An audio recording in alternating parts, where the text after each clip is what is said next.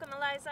Thank you. I was dispatching since we started. Drivers are the most important part of this job. The world moves because of the truck. If we don't have drivers, we don't have so many things.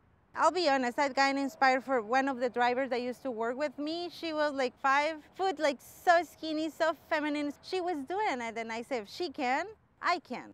I'm not beep beep trucking when I get to any facility. I am a convoy carrier. It was a company that finally was really caring about the drivers.